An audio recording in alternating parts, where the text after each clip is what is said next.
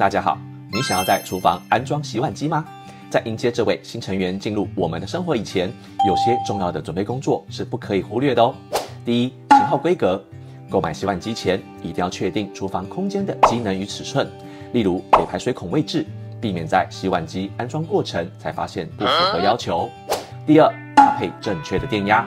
检查家中电压是否与洗碗机设定相符，这不仅影响电器使用电力的效率，也攸关到居家安全。